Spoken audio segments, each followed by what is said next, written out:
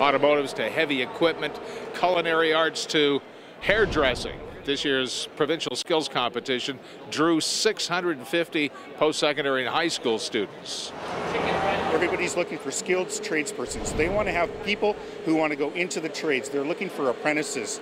We would like the youth that are coming out of high school to come into the trades. In Alberta, the trades are calling. Skills Canada Alberta presented students in skills competitions, such as pastry chef Courtney Thomas did as a student. It got me faster at doing what I do. People see that you can perform under pressure and they just love that because you don't get stressed out as easily. Peter Keith judged culinary students. They were each given chickens this morning, and they're deboning the chickens and properly processing it as if they're in a restaurant, you know, getting it ready for for the recipe that they're using. It was all about building confidence and turning kids onto the trades.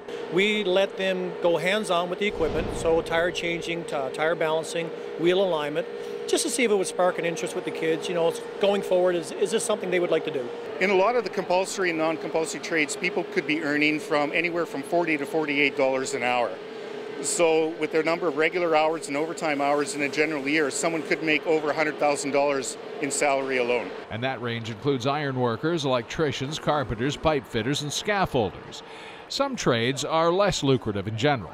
Here in Alberta, we're seeing a lot more need. I think looking into the future, it's going to be growing and growing. And and uh, lots and lots of openings for young chefs. If you want to look at an actual trend in our business right now, it's the special special diets. You know, gluten free is the future of cooking. If you can be a chef that makes excellent gluten-free food, you'll be very successful in North America. The Skills Canada competition. Some students are influenced into trades, some are recruited into industry because of it.